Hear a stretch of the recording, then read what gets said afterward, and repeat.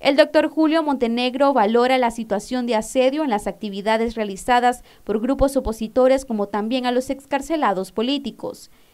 Bueno, pienso que es algo más de lo mismo que hemos estado viviendo de hace muchísimos meses atrás.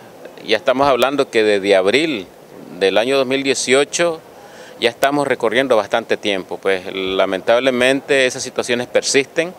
Eso lo hemos visto en cada evento que hemos estado presentes nosotros, donde de casualidad se nos invita y siempre miramos pues de que está la situación de patrullas vigilando, tomando fotos, tomando videos. Eso es lo que me han expresado a mí, por ejemplo, personas que están aquí.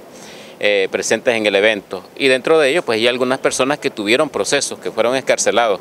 La misma situación está aconteciendo con las personas que fueron escarceladas, que se les mantienen los procesos y asimismo incluso hasta familiares, hasta familiares de las personas que fueron objeto de algún tipo de proceso. Tenemos el caso no reciente de la hermana de Ulesia Muñoz, que hasta incluso están afectándole lo que son los bienes o servicios básicos. Me parece que eso es un abuso, pues porque aquí aparentemente todas las instituciones están de alguna manera ligadas y se le aplica una especie de sanción a las personas por el hecho pues, de no compartir criterios. Además, Montenegro afirma que los procesos judiciales de excarcelados mantienen un origen en dudosa procedencia.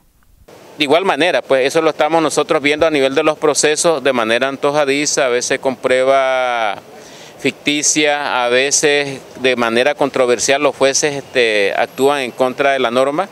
E incluso en el caso este, de Ulises José Rivas, tuvimos de alguna manera que mencionar a la jueza pues de que a veces se violentan las normas y eso pues se llama prevaricato. De igual manera hemos tenido un proceso nosotros en Masaya con el caso de Denis Javier Palacio, donde hablaba yo a la autoridad judicial de que hay muchos procedimientos irregulares que violentan de manera abierta la norma. Siempre se mantiene la situación de los asedios, las persecuciones y de los procesos que son de dudoso origen.